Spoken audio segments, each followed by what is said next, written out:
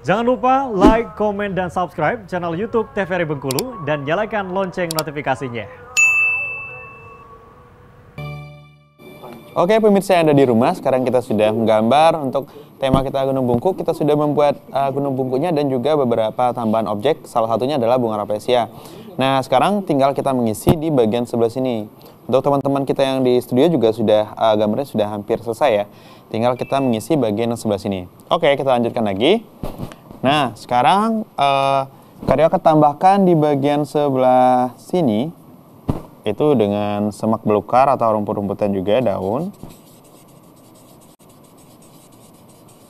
Walaupun gambar kita ini banyak daun-daun uh, yang kita buat, tapi nanti warnanya harus berbeda. Antar daun itu tidak harus warna hijau semua, jadi boleh warna yang lain.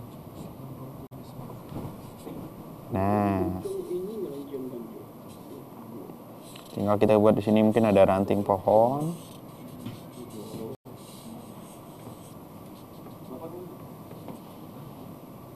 kita buat batu-batuan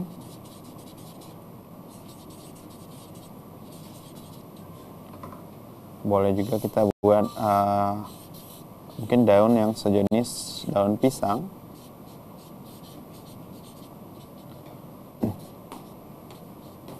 dan juga di daerah Gunung Bungkuk ini uh, banyak juga menghasilkan yaitu buah durian karena salah satu uh, hasil pertanian di sana yang terkenal itu adalah buah durian. Oke, kita tinggal tambahkan sedikit. perbukitan. Sedikit awan.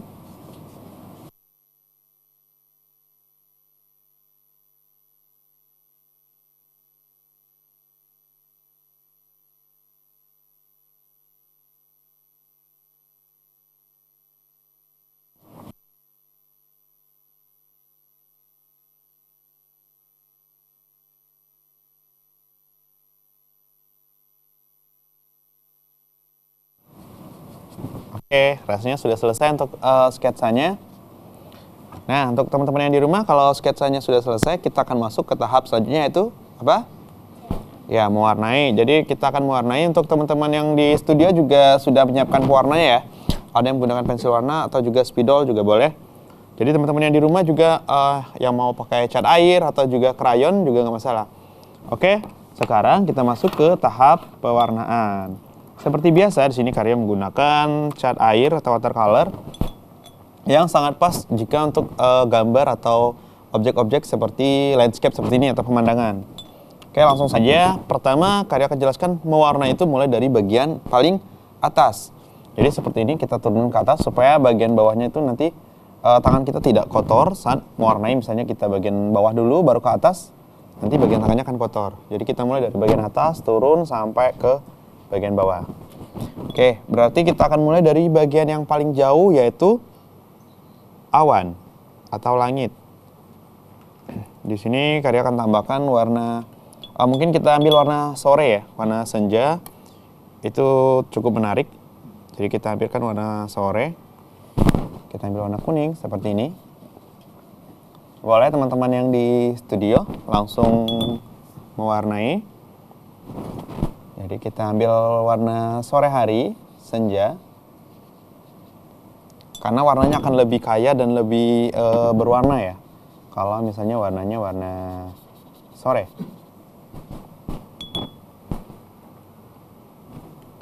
Nah, juga di Gunung Bungkuk ini salah satu menjadi spot e, untuk para pendaki dan juga yang suka camping. Biasanya banyak e, mendatangi Gunung Bungkuk ini.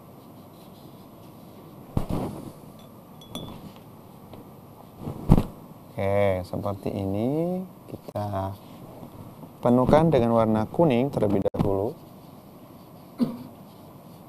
Untuk teman-teman yang di studio mungkin bisa untuk kuningnya kalau tidak menggunakan spidol boleh menggunakan pensil warna. Nah, kita penuhkan dulu. Selanjutnya, karya akan menambahkan gradasi. Gradasi warna kedua silahkan yang teman-teman di sini ikutin gradasi warna kedua kalau sudah kuning itu boleh pakai orange. Oke, kita tambahkan sedikit warna orange seperti ini.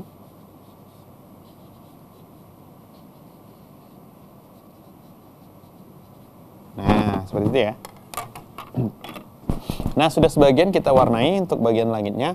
Kita akan lanjutkan, tapi sebelum itu kita jeda pariwara berikut ini.